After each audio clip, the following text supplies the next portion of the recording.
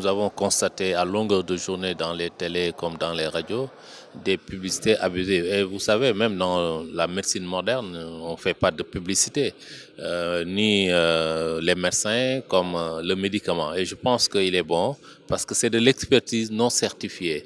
Et donc, je pense que ça peut être abusif par rapport à tous les patients qui euh, fréquentent euh, ce type de, de, médecine traditionnelle qui fait partie certes de notre euh, quotidien, mais il est bon quand même euh, d'encadrer cela et je pense qu'il est bon de faire comme la médecine moderne, d'interdire la publicité dans nos télévisions et radios.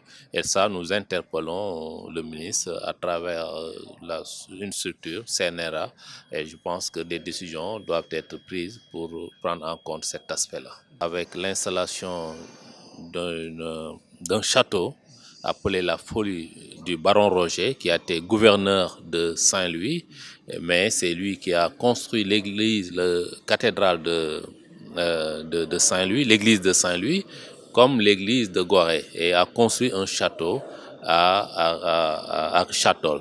Et d'ailleurs, le nom de Richatol vient de son jardinier, un botaniste, et le et tol comme jardin.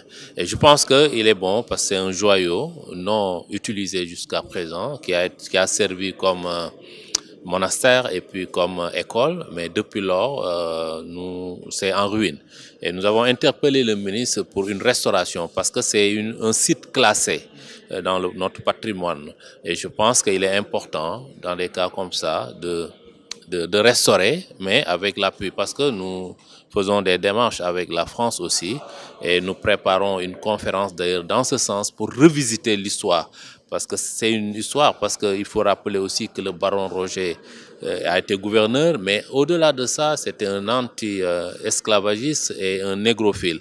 Et donc, il y a beaucoup de... et qui a laissé aussi... Euh, une famille au Sénégal parce qu'il s'était marié aussi à un Wallo-Wallo. Et donc, je pense qu'il y a des liens historiques et forts qui nous lient au-delà de l'aspect architectural euh, de ce site merveilleux. Et je pense qu'il est important aujourd'hui d'aller vers la restauration de ce site, en, en faire une musée botanique parce qu'il faut rappeler que le Wallo, le château particulièrement, depuis les années, mi, les années 1820, a été une zone, parce qu'avec le traité de Ndiaou, ça a permis aux Blancs d'installer de, des établissements de culture. C'est pourquoi cette zone a servi de zone d'expérimentation de, de culture tout au long du 19e siècle.